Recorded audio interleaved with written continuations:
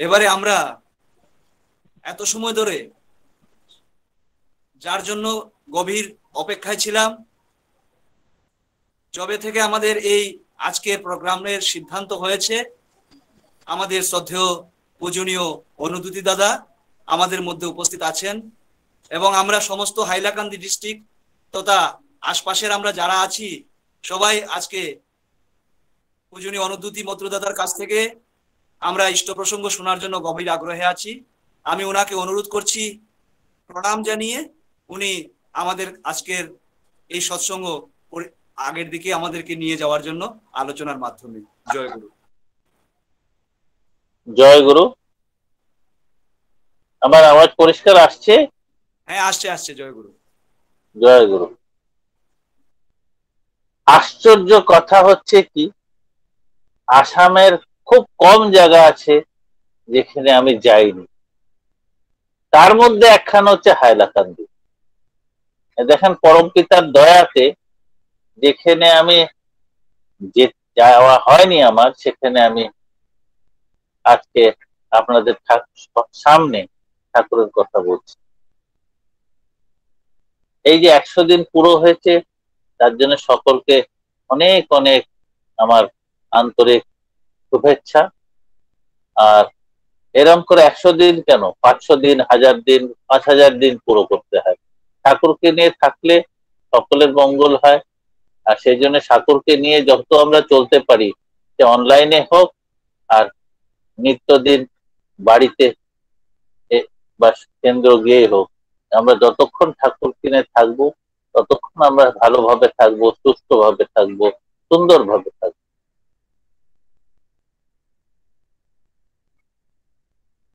আমাকে আপনাদের মধ্যে অনেকে হয়তো চেনেন, অনেকে হয়তো চেনেন না। কিন্তু আমি যখন ছোট ছিলাম, খুব ছোট ছিলাম, ধরেন আমার চার বছর মতন বয়স, তখন আমার মার হাত ধরে আমরা ঠাকুরের কাছে যেতাম। মা ঠাকুরের সাথে কথা বলতেন, আমরা, আমি আর আমার দিদি চুপচাপ বসে থাকতাম, শুনতাম। আমাদের এমন শিক্ষা ছিল যে আমরা ঠাকুরের কাছে ওই অত ছোট বয়সও চুপচাপ বসে যেরম নির্দেশ দিতেন সেরকম আমার মা সেরকম ভাবে আমরা থাকতাম। বাচ্চারা যেরকম দৌড়াদৌড়ি, ছটফট করে আমরা কিন্তু করতাম না। এটা ছিল হচ্ছে ট্রেনিং। ট্রেনিংটা কি করে আসে? কাউকে যখন আমি ভালোবাসি আর তার নির্দেশটা পরিপূর্ণভাবে মানার চেষ্টা করি, ভালোবাসার জন্য, ভয়ের জন্যে বা অন্য কারণের জন্য না, তখন কি হয়? আমাদের যে কর্মটা তার ভালো লাগার সাথে যুক্ত হয়ে যায়। আর তার ভালো লাগার সাথে যখন যুক্ত হয়ে যায়, তখন আমাদের কর্মটা খুব সুন্দরভাবে সুষ্ঠুভাবে হয়ে যায়। যে, যেই জন্যে অত ছোট বয়সেও আমরা চুপচাপ ভাবে ঠাকুরের সামনে বসে থাকতাম, কথোপকথন হতো, যতটা বুঝতাম বুঝতাম, বাকিটা বুঝতাম না, কিন্তু বসে থাকতাম। তারপরে ঠাকুরের কাছ থেকে নিয়ে গিয়ে আমাদের মা আমাকে আর আমার দিদিকে বড় মার কাছে রেখে নিজে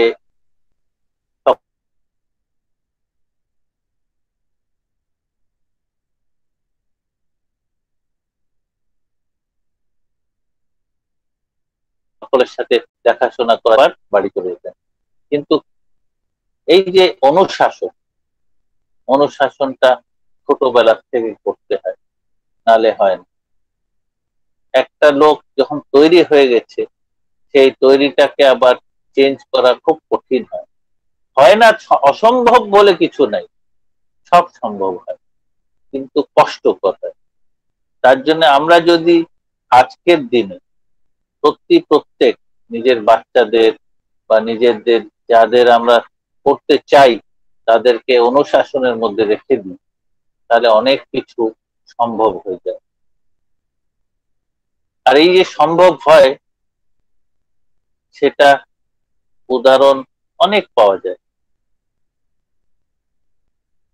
এখন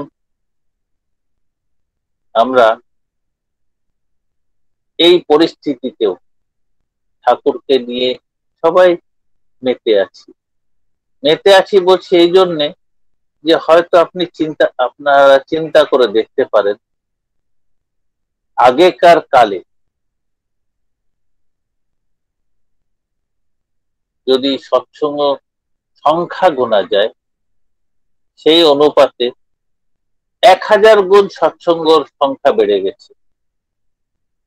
আর এক হাজার গুণ যে সংখ্যা বেড়ে গেছে, এই বিপরীত পরিস্থিতিতে বেড়েছে।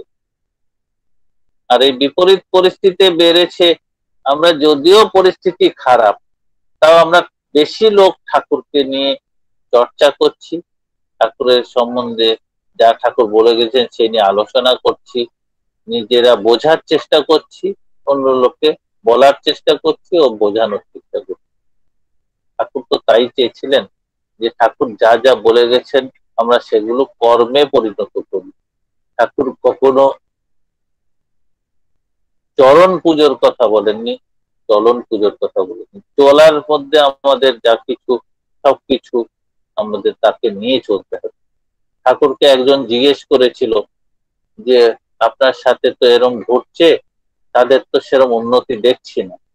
তখন ঠাকুর বলেছিলেন যে, সারা জীবনও যদি আমার গারু গামছা ধরে কেউ চলাফেরা করে, আর আমি যা বলেছি সেটা যদি কর্মে পরিণত না করে, তাহলে তার কোনো কিচ্ছু হবে না। তো ঠিক সেরও আমরা যদি সারা জীবনও শুধু ওই গারু গামছা ধরার মতন চরণ পুজো করতে থাকি, তাহলে আমাদের কিচ্ছু উন্নতি হবে না। অথচ আমরা যদি সামান্য কিছু আমাদের চলনে, ঠাকুর যেটা বলে গেছেন, সেটা আমরা কর্মে পরিণত করি, তখন কি হয়? আমাদের উন্নতি হয়। সব রকম উন্নতি হয়। মানসিক উন্নতি, আধ্যাত্মিক উন্নতি, শারীরিক উন্নতি এমনকি আর্থিক উন্নতিও হয়। লোকে ভাববে, কি করে আর্থিক উন্নতি হয়? ঠাকুর ধরে ঠাকুর যা যা বলে গেছেন সেরকম ভাবে যদি চলা যায়, তাহলে আর্থিক উন্নতিও হয়। তার কারণ আমাদের যখন স্বভাবটা পরিবর্তিত হয়ে যায়, তখন আমরা কর্ম যেতে আমাদের লোকসান হয় আর্থিক ভাবে সেটাও শুধরে যায়। আর শুধু তাই না, আমরা তখন তাই তাই করতে থাকি যেগুলো ঠাকুর বলেছেন বলে সেগুলোতে আমাদের ফল ভালো হয়। এখন এত কিছু বলছি আমরা, করছি কি সেটা দেখতে হবে। ঠাকুর তো বেশি কিছু বলে যাননি, আবার সবকিছু বলে গেছেন। দুটোই আছে। বেশি কিছু বলে যাননি মানে কি? ঠাকুর যা কিছু বলে গেছেন, এত সহজ ভাবে বলে গেছেন, এত সহজ নিয়ম দিয়ে গেছেন যে সেই নিয়ম পালন করাটা মনে হয় যে বেশি কিছু না। অথচ ঠাকুর সবকিছু বলে গেছেন, সব পরিস্থিতির সব অবস্থায় কিরম করে চলতে হবে সেটাও বলে গেছেন। তো যার দরকার যতটা, সে ততটা ঠাকুরকে যা বলে গেছেন সেটা পড়তে হবে। পড়ার জন্য ঠাকুর কি বলেছেন? পড়ার জন্য আমার ঠাকুরের বই পড়তে হবে। এর ও তার মুখে শোনার থেকে যদি ঠাকুরের বই পড়া যায়, তাহলে বেশি আমরা শুদ্ধভাবে তাকে ঠাকুর কি বলেছে সেটা আমরা কর্মে পরিণত করতে পারব। অনেকে ঠাকুরের নাম দিয়ে নিজের কথা চালিয়ে দেয়, নিজের ভাবটা। সে হয়তো কোনো কিছু কারোর অমঙ্গল ভেবে বা কিছু সেভাবে বলছে না। সে তার বোধ অনুযায়ী ঠাকুর এটা বলেছেন, ভেবে সেটা বলে দেয়। কিন্তু অনেক সময় সেই বলাটা ঠাকুর যেটা বলেছেন, তার সাথে মিল হয় না। তার জন্য ঠাকুর কি বলেছেন সেটা দেখতে হয়।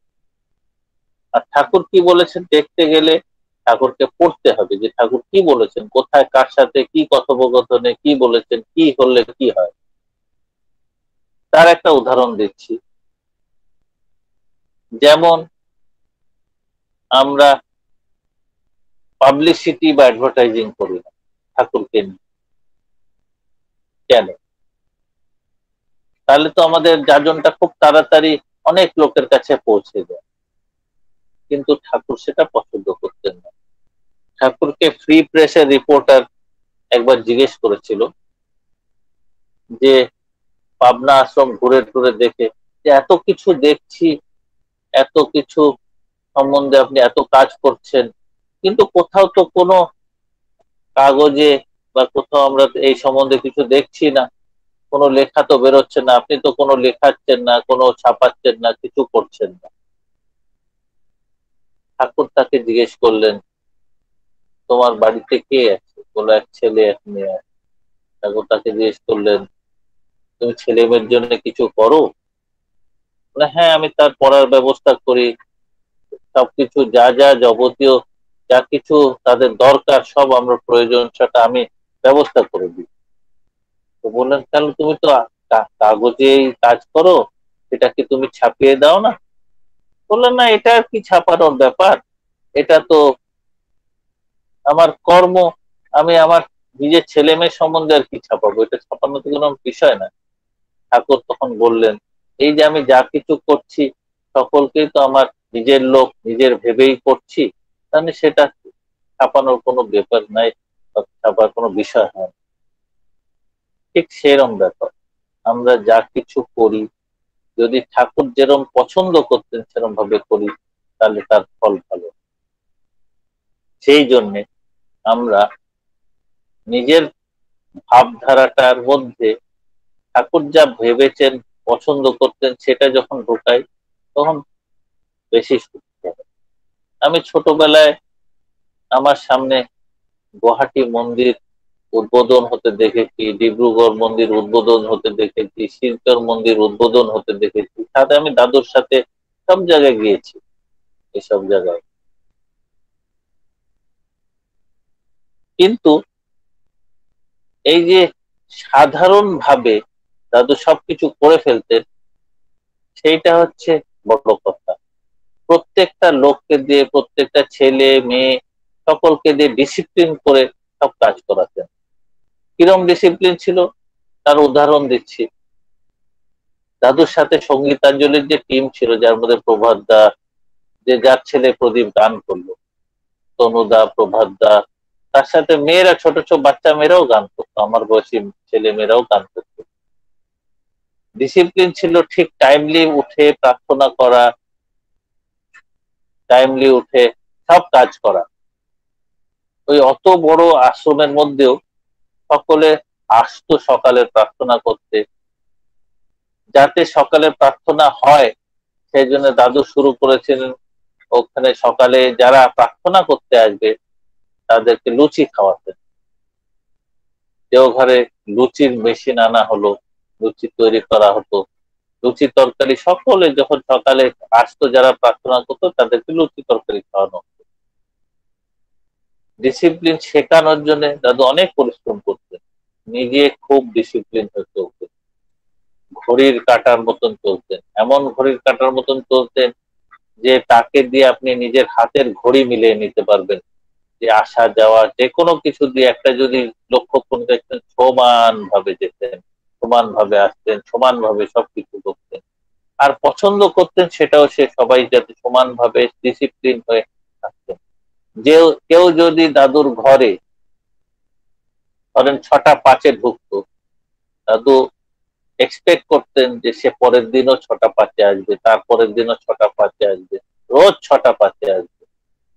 একদিন ছটা পাঁচ, একদিন ছটা সাত, একদিন ছটা দশ, একদিন ছটা, এটা পছন্দ করতেন না। ডিসিপ্লিন ভাবে চলাটা পছন্দ করতেন যেহেতু দাদু আমাদের দাদু দাদু মানে শ্রী বর্দার কথা বলছেন। ডিসিপ্লিন হয়ে হয়ে চলতেন আমরা চেষ্টা করতাম যে তার খুশি করার জন্য আমরা যাতে ডিসিপ্লিন হয়ে চলতে পারি। খুব ছোটবেলার থেকে দাদুর সাথে যাতায়াত করার জন্য দাদু গাড়িতে যখন চলতেন, এক জায়গা থেকে আরেক জায়গায় ভোরবেলা চারটের সময় রওনা হতেন। আর চারটে মানে চারটেই, চারটে মানে চারটে এক হতো না। এরকমও ঘটনা হয়েছে যে দাদু বেরো, বেরিয়ে যাবেন। রামকানালি শিউরি এগুলো বেরোনোর কথা ছিল। দাদু বলেছিলেন চারটের সময় আসবে।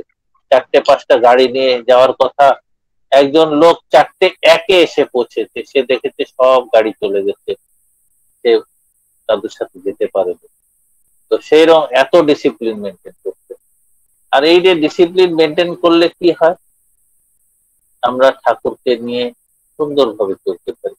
যখন আমরা ডিসিপ্লিন মেনটেন করে চলবো, তখন আমরা যা কিছু করব, তখন তার ইচ্ছা মতন করতে পারব। আমরা যখন আমরা শিষ্যকে কি বলি? আমরা ডিসাইপল ডিসাইপেলের থেকে ডিসিপ্লিন কথাটা ডিসিপ্লিন আর ডিসাইপল দুটো জোড়া। যদি ডিসাইপল হতে হয়, তাহলে ডিসিপ্লিন হতে হবে। আমরা যদি ঠাকুরের ডিসাইপল হতে চাই, তাহলে আমার ঠাকুরকে নিয়ে আমরা ডিসিপ্লিন ভাবে চলতে যতক্ষণ না আমরা সেরকম ভাবে চলবো, ততক্ষণ অব্দি আমাদের চলাটা ঠিক হয় না। তার কারণ কি হয়? আমরা যা হ্যাবিট করব, সেটা থেকে যায়। হ্যাবিট কথাটাও যেমন H A B I T habit বলে। হ্যাবিট মানে যা করছি সেটা আমাদের ভেতরে ঢুকে যাচ্ছে।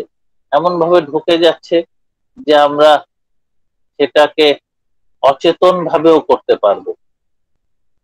তো হ্যাবিট কথার থেকে আমরা যে এসটা বাদ দিয়ে দিই, তাহলে কি থাকল? এ বিট সেটা থেকে গেল। এটাও বাদ দিয়ে দিলে বিট থাকল, তাও থেকে গেল। বিটা বাদ দিলে ইট থাকল, তাও থেকে গেল। তো সেরম ব্যাপার। আমরা বাদ দেওয়া সত্ত্বেও আমাদের মধ্যে থেকে যায়। তো সেই জন্য যেটা আমরা ভালোভাবে হ্যাবিট করব, সেটা ভালোভাবে চলতে পারব।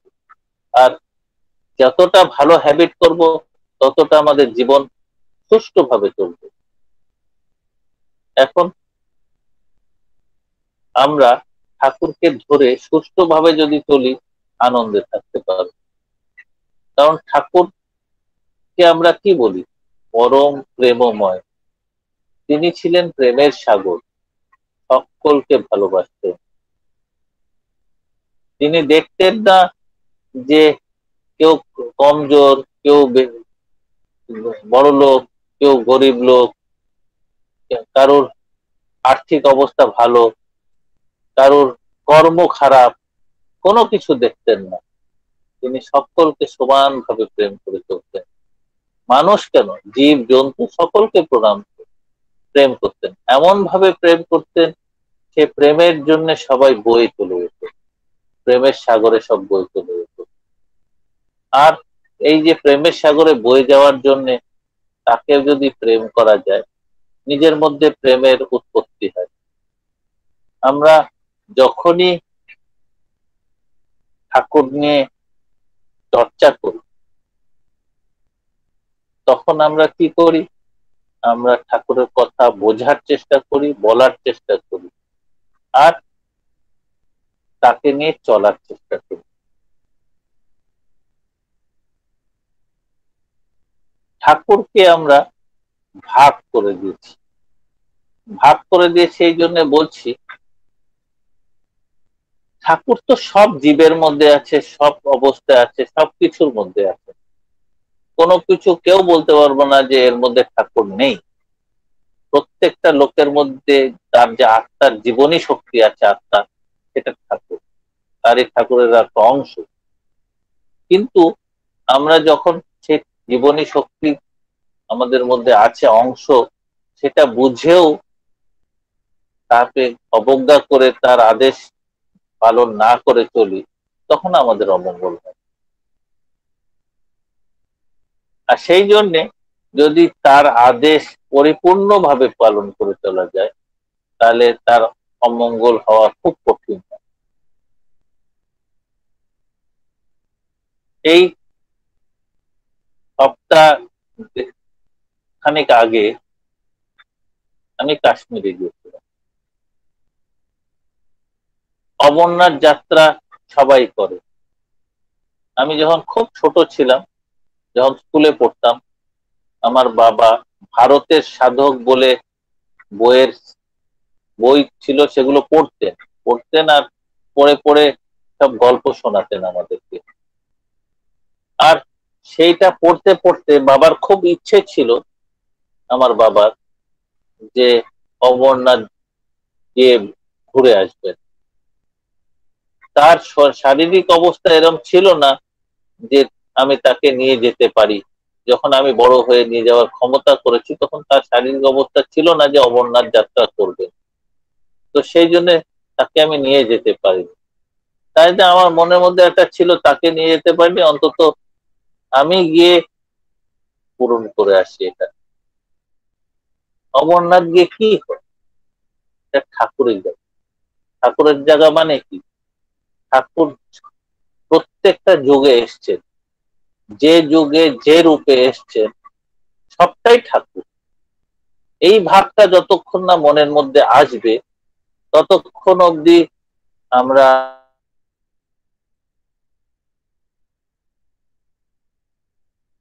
এই কথাই আছে যে, আমার মনের মধ্যে ঠিক মতন করে মূর্তি পুজোর দেব দেবীর সম্বন্ধে চিন্তা যখন আমি বুঝতে পারব যে এটা তিন তারই একটা রূপ। তিনি যখন যে যুগে যে অবস্থা এসছেন, সেই অবস্থাকে আমরা উপলব্ধি করতে পারছি। তখন হবে কি, আমি ঠাকুরকে সব জায়গায় দেখতে পারব আর সব জায়গায় উপলব্ধি করতে পারব। এই যে অমরনাথ যাত্রাতে আমি গিয়েছিলাম, খুব দুর্গম রাস্তা। আর এবার অমরনাথ যাত্রা বন্ধ ছিল। বন্ধ ছিল মানে সাধারণ লোকের জন্য যাত্রাটা বন্ধ ছিল। পরম পিতার দয়ায় ওইখানে আমাদের এক গুরু ভাই, মিন্টু কুমার নন্দী, যে বিএসএফ এ কাজ করেন ইন্সপেক্টর আছেন, ওখানে অমরনাথ যাত্রারই সিকিউরিটিতে পোস্টিং হয়। আমি তাকে অনুরোধ করি যে আমি যদি যদি ব্যবস্থা করে দেন, তাহলে অমরনাথটা আমি গিয়ে ঘুরে আসতে পারি। এরম সুযোগ তো আর হবে না। অ্যাপ্লাই করে দেয়। অ্যাপ্লাই করার পরে পাওয়া যাবে কি যাবে না জানি না। কিন্তু ঠাকুরের দয়াতে সব সম্ভব হয়। সেই জন্যে কি হলো? অ্যাপ্লাই করার পরে পেয়ে গেল পারমিশন সেই পারমিশন নিয়ে আমি গেলাম অমরনাথে। ফেরার পথে যখন ফিরি, তখন বলল, ঘোড়ার থেকে নামতে হবে। কারণ গ্লেশিয়ারটা অনেকটা গলে গেছে। ওর উপর দিয়ে ঘোড়া, মানুষ সহ ঘোড়া গেলে স্কিড হয়ে অ্যাক্সিডেন্ট হতে পারে। তো ঘোড়ার থেকে নামলাম। ঘোড়া আগে পার হয়ে গেল। তারপর আমরা একে একে, মানুষ যারা ছিলাম, তিন চারজন আমরা ছিলাম, পার হতে, পার হওয়া শুরু করলাম। যখন আমি মাঝ রাস্তা আছি, তখন আবার পা পিছলে গেল। আর ওই গ্লেশিয়ারের মধ্যে পঞ্চাশ ফিট আমি স্কিড করে নিচে চলে গেলাম, নিচের দিকে। ঠাকুর সহায় থাকলে কোনো অবস্থাতে কোনো বিপরীত কিছু ঘটে না। ঠিক স্কিপ করে আমি একটা সাইডে গিয়ে পৌঁছালাম যখন, তখন পাশের থেকে ওই আরও যারা ছিল বিএসএফ এর লোকরা এসে আমাকে হাত ধরে উঠিয়ে দিল। যে ঘোড়া যারা চালায়, যে লোকাল যে কাশ্মীরের লোক, আর বিএসএফ সবাই মিলে হাত ধরে উঠিয়ে নিল, আমি উঠে চলে আসলাম। তো পরম পিতার সাথে থাকলে কোনো অবস্থাতে কোনো দুর্ঘটনা হয় না। কিন্তু পরম পিতাকে সাথে নিয়ে চলতে হয় মনের মধ্যে। আর সেই জন্য যেহেতু আমি অমরনাথে গিয়েও পরম পিতার কথাই চিন্তা করেছি। ঠাকুরকে দর্শন করছি, ঠাকুরের জায়গায় এসছি। এটা যখন উপলব্ধি করেছি, সে উপলব্ধিটা নিজের মনের মধ্যে ছিল বলে পরম পিতা সবকিছু অবস্থায় রক্ষা করে দেয়। তো সেই জন্যে আমরা যতক্ষণ পরম পিতাকে নিয়ে চলি, সব পরিস্থিতিতেই আমরা তাকে উপলব্ধি করতে পারি। আর সে উপলব্ধিটা প্রত্যেকটা লোক নিজের জীবনে করতে পারে। কিন্তু নিঃশর্ত ভাবে করতে হয়। কোন শর্ত রাখতে হয় শর্ত রাখলে কি তার সাথে কিছু করা যায়? শর্ত রাখলে আমরা শর্তের মধ্যে থেকে যাব। আর সেই শর্ত যে আমরা করেছি তো তা আমাদের প্রাপ্তিটাও সীমিত হয়ে যায়। তার জন্যে নিঃশর্ত ভাবে যদি ঠাকুরকে ধরে চলা যায় ঠাকুরকে নিয়ে সাথে চলা যায়, সব জায়গায়, সব অবস্থায় সবকিছু সম্ভব হয়ে যায়। যেমন এবার আমার অমরনাথ যাত্রাটা সম্ভব হয়ে গেল। দেওঘরে যেতে পারছি না বলে ভাবলাম যে ঠিক আছে, ঠাকুরের একটা জায়গায় যেতে পারছি না, ঠাকুরের আরেকটা জায়গায় গিয়ে ঘুরে চলে দেখেন, এটা হচ্ছে পরম পিতার ইচ্ছে। যে দেওঘরে যেতে পারলাম না, তার জন্য ঠাকুর অমরনাথে নিয়ে গিয়ে তার নিজের জায়গায় দর্শন করিয়ে দিলেন তো সেই জন্যে ঠাকুরকে নিয়ে চললে কোনো কিছু অসম্ভব হয় না, সবকিছু সম্ভব হয়ে যায়। আর সম্ভব করার জন্য নিজেকে চলতে হবে ঠাকুরের পথে। ঠাকুর সাধারণ কথা বলে গেছেন। খুব সাধারণ কথা।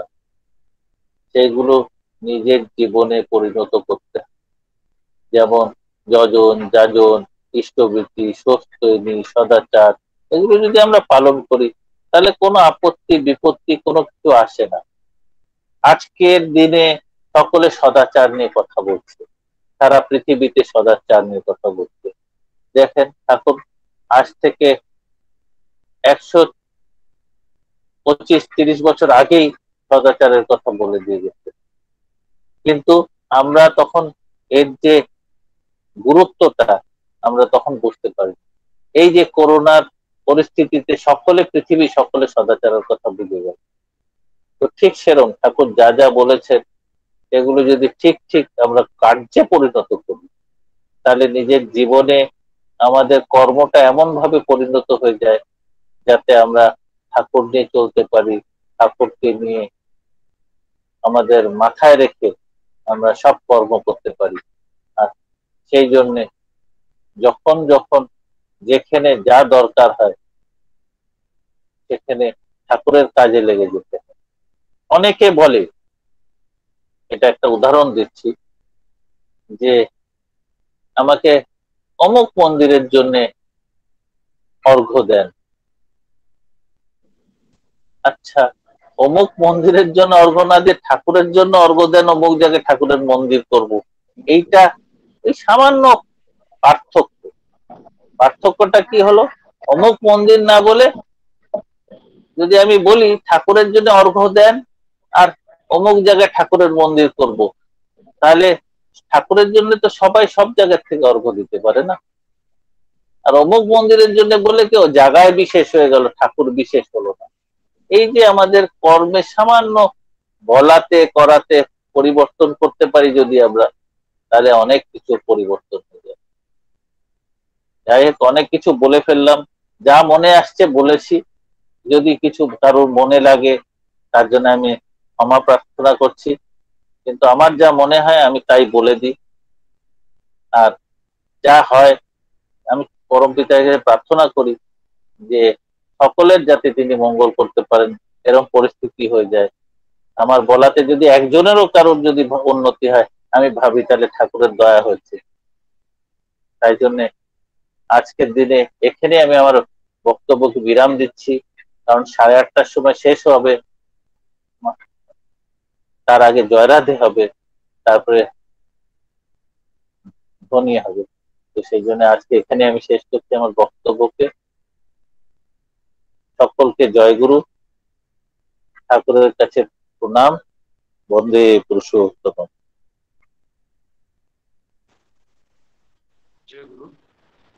আমার সশ্রত প্রণাম আপনার শ্রীচরণে।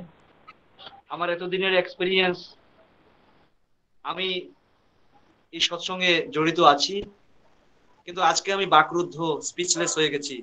আপনাকে কি বলব? কিছু বলার নেই, শুধু প্রণামই বলছি। আর আপনাকে উল্টো বলছি, আপনি যেন আমাদের জন্য ঠাকুরের কাছে প্রার্থনা করুন, আমরা যেন তার মনজ্ঞ হয়ে উঠতে পারি। আমার আর কিছু বলার নেই।